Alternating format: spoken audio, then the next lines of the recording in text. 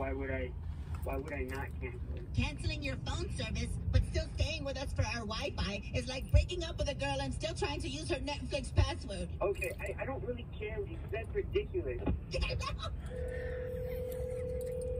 Call her Hello? back. Hold on, this is got him in with a courtesy call from.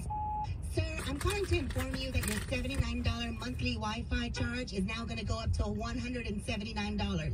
What? Why would he go?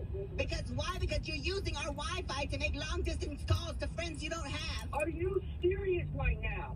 You're gonna go from seventy to a hundred. What, what was it? What was the number you said? $179 plus tax.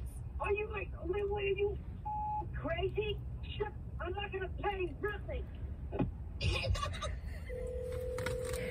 Come back, man.